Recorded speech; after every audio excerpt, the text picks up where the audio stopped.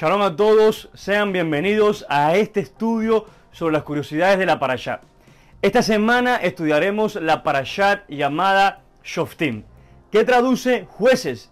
Esta porción de la Torá empieza de la siguiente manera.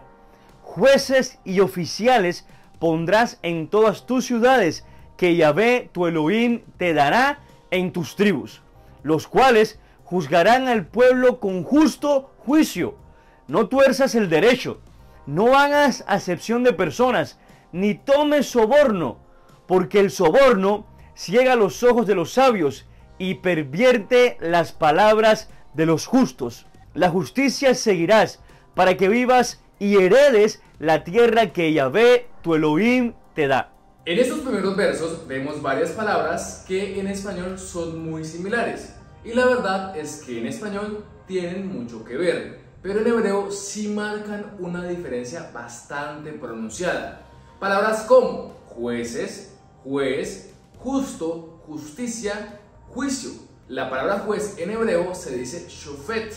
En plural es la palabra shoftim, que es como se llama esta parasha. Pero la palabra justo es tzedek. La palabra justicia es tzedakah la palabra juicio es mishpat. Y aquí es donde marca una gran diferencia, pues a simple vista las palabras tzedek y tzedakah no comparten ni el mínimo parecido con las palabras shofet, juez, shoftim, jueces, ni mishpat, juicio. Y aunque no se parecen, sí hacen buen equipo, sí se entrelazan muy bien. Un shofet, es decir, un juez, es una autoridad nombrada por el mismo Elohim para proteger al pueblo. Es un protector del pueblo. Este juez no era únicamente una figura de autoridad, sino que era un líder militar, civil y espiritual, pues tenía la obligación de guiar al pueblo por la senda justa, llevando el debido proceso de los mandamientos. Un juez iba a la guerra junto con el ejército de Israel un ejército que para poder triunfar en sus batallas tenía que ser compatible con la santidad de Elohim para poder ser partícipe de las bendiciones que trae consigo la obediencia. Shoftim es el nombre de esta porción de la Torá, pero también es el nombre de todo un libro del Tanaj, específicamente del libro de jueces, donde narra todos los aciertos y desaciertos de los jueces de Israel. Esto claramente en el periodo anterior a la creación de la monarquía israelita. Uno de los jueces más conocidos son Otniel, Aod, Samgar, Débora, Gedeón, Tola, Jair, Jefté, Ibzán, Elón, Abodón y Sansón. Ahora, ¿de dónde viene la palabra Shoftim? La raíz de esta palabra es Shin Pe Tet. Con esta misma raíz formamos la palabra Mishpat, que en su forma plural es Mishpatim. Los mishpatim son los reglamentos sociales, las llamadas leyes con alma.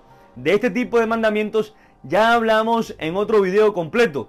Te recomendamos que lo veas, pues este tipo de mandamientos son demasiado importantes, pues son los que regulan la comunión con el prójimo. Y sabemos que la Torah se vive de manera comunitaria. Es imposible ser santos encerrándonos en una habitación o subiendo a una montaña a encerrarnos como ermitaños. La santidad se ejercita en comunidad, en el trato con el prójimo. La santidad se pule. Israel es un pueblo. Israel no es un individuo. Así que estos mis patim son los que pulen mi ser, con el trato con mi hermano del pueblo.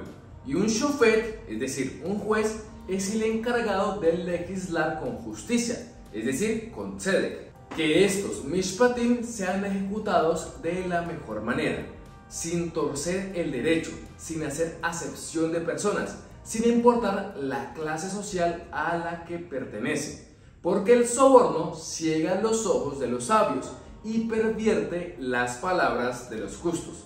Solamente la tzedakah, es decir, la justicia que viene de parte de Elohim, seguiremos para que vivamos y heredemos la tierra que Yahvé, nuestro Elohim, nos da. No hay otra forma. Pablo lo dijo de la siguiente manera. Supongan que dos hombres entran a su reunión, uno con anillo de oro y muy bien vestido, y otro muy pobre y con la ropa toda sucia. Y supongan que ustedes dan especial atención al que está bien vestido y le dicen, tome asiento, aquí hay un buen lugar. Y le dicen al pobre, usted quede separado allí o siéntese en el suelo. Si actúan así, se hacen jueces de los demás y jueces injustos. ¿Acaso hacer eso no es discriminar? Hay salmos que exclaman que Elohim nos juzgue. Esto leído en español sería un poco extraño. ¿Por qué pediríamos que Elohim nos juzgue? ¿Acaso queremos ser enjuiciados? Para nada, todo lo contrario. Estos salmos dicen así, Júzgame Adonai, porque en integridad he andado, he confiado a sí mismo en Yahvé sin titubear. Esto en hebreo dice, Shafteni Yahvé Kiani Betumi, Alachti Ubayabé Batachti Loemat.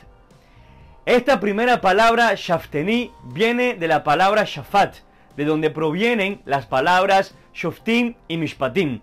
Cuando exclama el rey David en este salmo, Júzgame Adonai, es mira mi vida, mira mis actos, mira mi proceder con mi prójimo.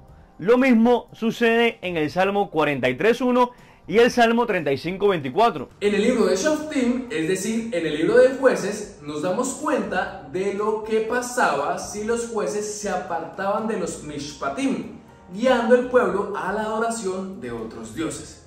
Vemos cómo la mano poderosa de Elohim se apartaba del pueblo, pero también vemos que cuando el Shofet era temeroso de los designios de nuestro Elohim, había gran bendición y los propósitos se completaban. Por esa razón, los Shoftim no podían estar apartados de los Mishpatim. Es una conjugación santa que tiene como resultado la bendición de nuestro Creador. Y los Mishpatim se resumen en ama a tu prójimo como a ti mismo. Y si amas a tu prójimo como a ti mismo, el pueblo se fortalece en la santidad protectora del Elohim protector. Shalom Alejem.